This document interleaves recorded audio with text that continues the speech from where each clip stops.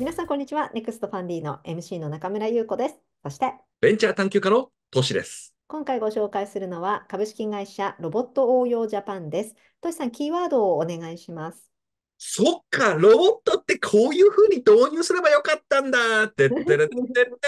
てってという感じでございます。はい。すごい、どういうこと？ロボットってこんな風に導入すればよかった。はい。理解しちゃった中村。さん、さあ、ロボットといえばですね、いろんなロボットがいますが、うん。まあ、猫型ロボットとかですね、アニメとか。もありますけどははい。いろんなロボットがあるんですが、うん今ですね、まあ、様々な製造現場において、まあ、ロボットの導入を進めたい、あるいは進めている企業がありますが、今回、ファンディーノルですね、えー以前も募集している企業、ロボット応用ジャパンは一体どういう特徴があるか、このロボットの会社なんですが、言葉通りですね。見ていただきたいのが、今回はロボットの導入に対して課題を持っている主に中小企業、工場、うんまあ、そういったところの課題、そちらを解決するのが得意な会社となります。はいはい。さあ、ロボットって大体ですね、まあ、いろんなモデルがあるんですけど、すんごいシンプルに言うと、ロボットを作りました、このロボットをいろんなところに導入してもらいますっていうタイプのですね、まあ、メーカーみたいな感じのね、うん。まあ、そういうビジネスモデルの、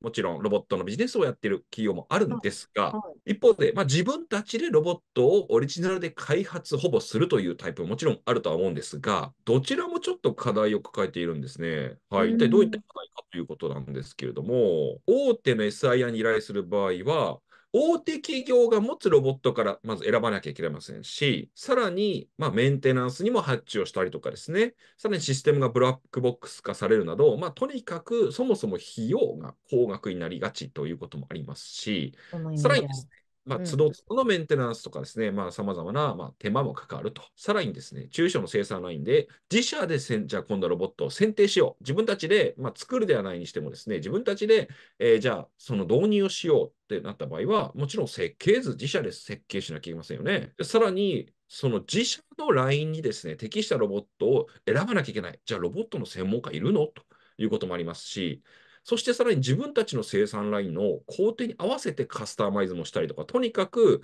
まあ、自分たちがやらなきゃいけないことがすごく今度は多くなっちゃう。うんつまり、費用面も問題がなく、そして選定とか設計っていうところに対しても、ある程度自分たちが大きな手間をかけなくて済む方法はないのかな、柔軟性があるロボットのですね、導入ができないのかなという、この課題についてですね、解決ができるというビジネスモデルなんですね。で一体なんでなんですかということなんですけれども、提供するサービスご覧ください。必要なシステムを修正して製造ラインをコーディネートと書いてあります。うんはい。左側の図見てください。実はですね、このパートナー企業というのが67社ありまして、ロボットメーカーさんとか、ロボットのし、まあ、関連の装置だったりとか、うん。周辺を整備するメーカーさん67社とまず、はいはい。パートナー契約します。はい。そうすると、クライアントさんである製造業のですね、まあ、多分工場とかですね、そういう中小企業に対して、まあ、こういうロボット欲しいんだよねとかですね、まあ、そもそもですけど、こういうロボットを使ったらもっと効率的になるんじゃないですかとか、費用を抑えられるんじゃないですか、生産の費用を抑えられるんじゃないですかという時にですね、はい、どうしますか？じゃあ、ロボットを勝手に買ってきてくださいっていうわけにいかませんし、ね自分たちで頑張って選んでくださいじゃなくって、うんじゃあ、我々がもともと持ってるパートナー企業さんのとこから、ちょっとね、選んできますから、相談してきますからといってですね、そういった課題を分析して最適なファクトリーオートメーションシステム、FA システムですね。まあ、簡単に言うと工場におけるですね、はいはい、その工程をですね、まあ、効率化するためのシステムですね。こちらを企画設計構築してくれるので、まあ、簡単に言うとですね、自分たちが完全にこ工場にとっては決める工数が多いわけでもなく、かといって大手企業のですね、費用のかさむようなあーそういったものを導入するわけでもなく、ちょうどいいとこ取りができるというですね、そういったサービスになっています。というわけで、中小企業にとって嬉しいサービスなんですけれども、さあ今回は大人気につき、以前もハンディノで募集してたんですが、見てください。まず市場がですね、どんどん伸びてます。産業用ロボットの市場はこのようにですね、年約8.4%の成長を日本では見込まれております。さらにですね、そもそもなんですけれども、これまでのですね、案件なんですけども、こちらご覧ください。営業利益、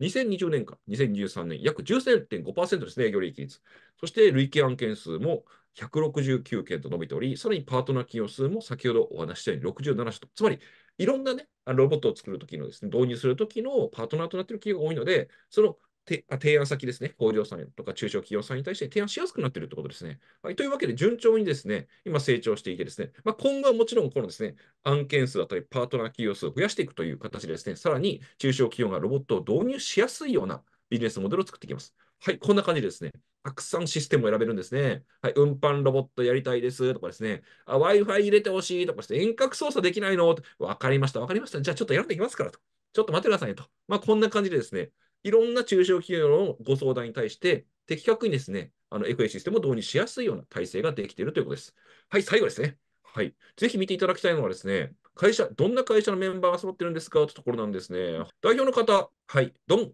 リーピーさん。はい、中国の方ですが、なんと2004年に日本語一級資格を取得して、中村さん、実は喋ったことがあるというかですね、お会いしたことというか、まあ、はい、説明会でご一緒させていただいて、はい、貴重な日本語で、どんな質問にもちゃんと日本語でお答えされてました。はい、というわけでもうですね、もうもちろん日本語はペラペラ、ロボットももうペラペラ。はい、ロボットの分野に関しても専門性が非常にあるというですね、強力なメンバーでビジネスを行っているということで、こちらのメンバーの方にもぜひ注目していただければと思います。ありがとうございました。株式会社ロボット応用ジャパンお申し込みの開始は4月12日夜7時半からの予定です。